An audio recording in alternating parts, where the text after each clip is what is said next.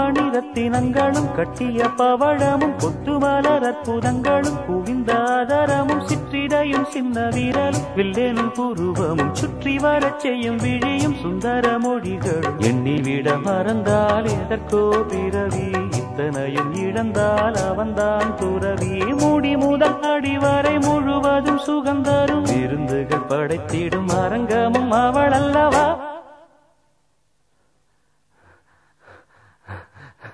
மண்ணில் இந்த காதலன்றி யாரும் வாழ்தல் கூடுமோ?